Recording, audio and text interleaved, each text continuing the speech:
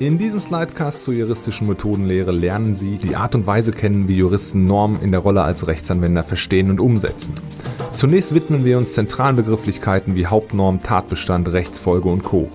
Anhand eines Fallbeispiels lernen Sie dann die Kernaufgaben des Juristen im Privatrecht beim Umgang mit Gesetzen als ihr wichtigstes Arbeitsmittel kennen. Sie werden sehen, dass die Auseinandersetzung mit dem Anspruch stets der Ausgangspunkt ist und am Ende verstehen Sie, warum das Interpretieren von Gesetzen nach völlig anderen Regeln abläuft als beispielsweise bei der Deutung von lyrischen Werken.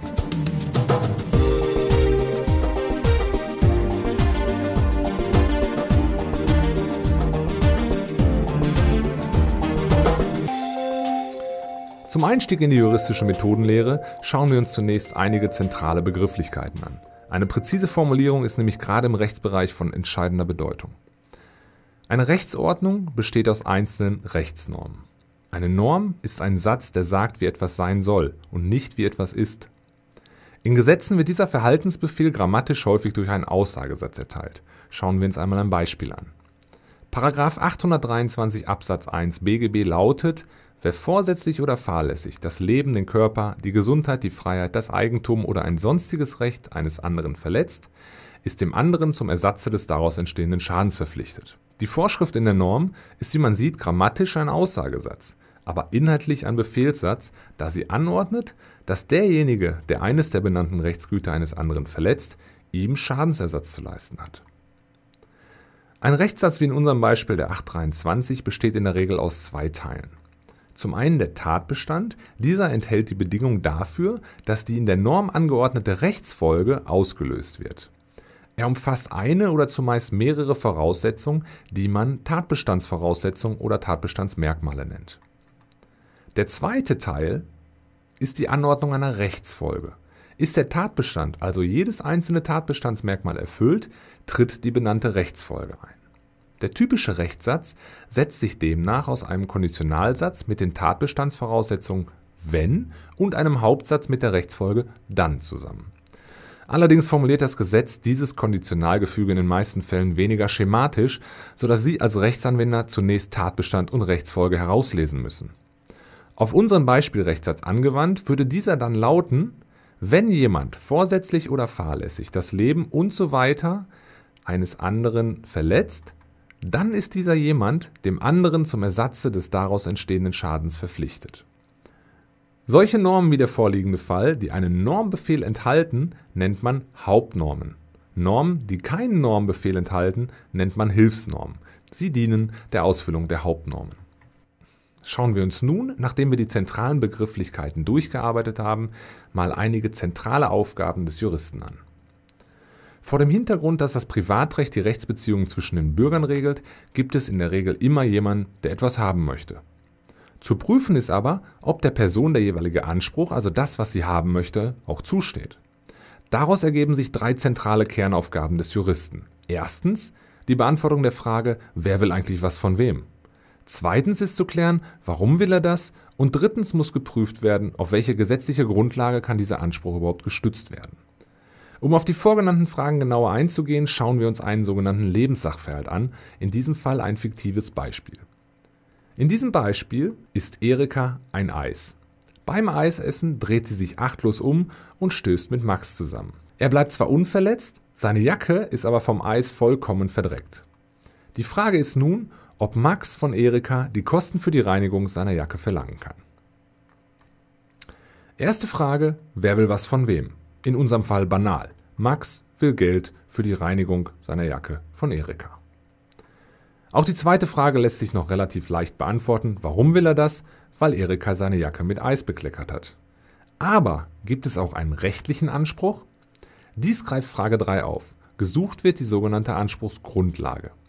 Diese ergibt sich oftmals direkt aus dem Gesetz, nämlich besteht dann ein Anspruch, wenn der Tatbestand durch den Lebenssachverhalt erfüllt wird. Der Jurist muss nun in diesem Falle alle auch nur entfernt möglichen Anspruchsgrundlagen suchen. Wichtig dabei ist, dass eine Anspruchsgrundlage im Gesetz nicht nur aus dem Tatbestand, sondern auch aus der Rechtsfolge besteht, so wie der 823.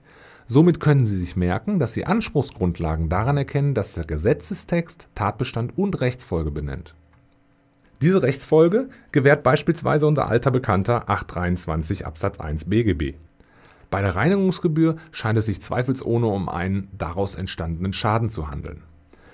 Aber die Anspruchsgrundlage in 823 gewährt den Anspruch nur, wenn der Tatbestand auch erfüllt ist.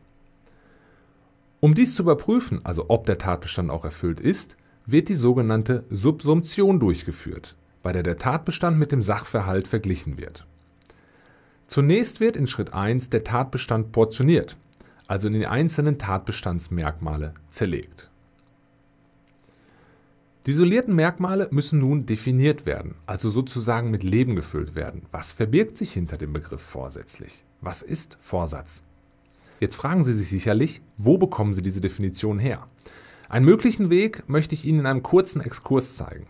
Und zwar haben Sie als Student der FOM über Ihren Online-Campus-Account Zugang zu Back Online. Back Online, eine juristische Fachdatenbank, in der Sie solche Definitionen finden können. Ich zeige Ihnen nun kurz, wie. Loggen Sie sich also in den Online-Campus ein und navigieren über Mein Institut, dann auf Tools and Services und Literaturrecherche zu dieser Seite Dort können Sie juristische Fachaufsätze und Zeitschriftenartikel von Beck Online anwählen und dann über den Knopf zur Suche direkt auf die Website gelangen. Als allererstes ist es wichtig, dass Sie prüfen, dass rechts im Suchfeld unser Beck Online markiert ist. Das heißt, es werden Ihnen nur solche Suchergebnisse angezeigt, die Sie auch sehen können aufgrund der Berechtigung, die die FOM für Sie erworben hat. Dann geben Sie Ihre Suchbegriffe ein. In diesem Fall habe ich das schon getan. Ich suche nach Vorsatz und nach BGB. Auf der linken Seite können Sie nun die Suchergebnisse eingrenzen nach Rechtsgebiet. Bürgerliches Recht ist schon angewählt. Und zusätzlich möchte ich noch den Publikationstyp einschränken. Und zwar suchen wir in Kommentaren und Handbüchern und wählen dann auf gut Glück einfach mal den ersten Kommentar, gehen unter dem Punkt Allgemeines und finden dort in der ersten Zeile bereits das Schlüsselwort definiert. Das heißt, hier können Sie sich an bereits bestehenden Definitionen bedienen. Das nur als kleiner Hinweis. Sie werden in Ihrem Studium Back Online sicherlich noch des Öfteren konsultieren. Nachdem Sie nun gesehen haben, wo Sie die Definitionen herbekommen, gehen wir einmal unsere Tatbestandsmerkmale durch. Der Vorsatz ist das Wissen und Wollen der Tatbestandsverwirklichung. Fahrlässig handelt, wer die im Verkehr erforderliche Sorgfalt außer Acht lässt. Die nächsten vier Tatbestandsmerkmale lassen wir jetzt mal außen vor und machen weiter beim Eigentum. Eigentum ist das umfassende Herrschaftsrecht über bewegliche und unbewegliche Sachen. Eines anderen bedeutet eine andere natürliche oder juristische Person und Verletzung in Bezug auf Sachen meint, wenn die Substanz oder die Nutzung der Sache beeinträchtigt ist. Nun haben wir den zweiten Schritt abgeschlossen und haben alle Tatbestandsmerkmale definiert.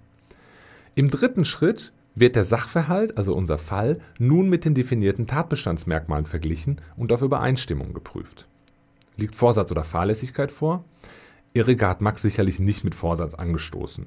Da sie sich aber achtlos umgedreht hat, liegt durchaus Fahrlässigkeit vor. Das Leben von Max wurde nicht verletzt, sein Körper und seine Gesundheit auch nicht, er blieb schließlich unverletzt. Ebenfalls wie seine Freiheit, die wurde ihm ebenfalls nicht genommen. Anders sieht es allerdings beim Eigentum aus. Das Eigentum ist in diesem Fall die Jacke. Eines anderen und zwar von Max.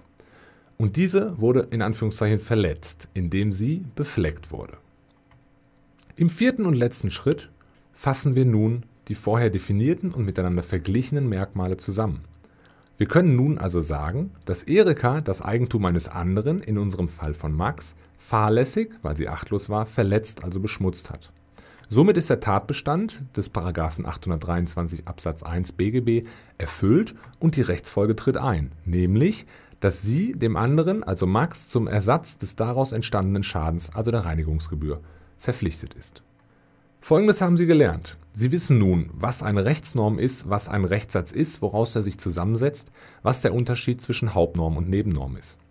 Anhand des kleinen Fallbeispiels mit Max und Erika haben wir die Kernaufgaben des Juristen im Privatrecht veranschaulicht. Sie wissen, wie die Subsumption als eine zentrale Aufgabe des Juristen abläuft und kennen die vier Schritte, die dabei durchlaufen werden müssen.